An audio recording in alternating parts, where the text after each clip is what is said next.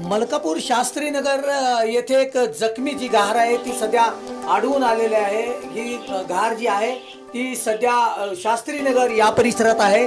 One विभागाने तात्काळ या परिसरात धाव घेऊन या जखमी घारीला उपचारासाठी ताब्यात घ्यावं अशी एकत्रित मागणी आता येथील ज्यांना घार सापडले आहेत त्यांनी केलेली आहे. ही बातमी दाखवल्यानंतर वन विभागाने या ठिकाणी पोहोचावं आणि त्या घारीला उपचारासाठी ताब्यात घ्यावं.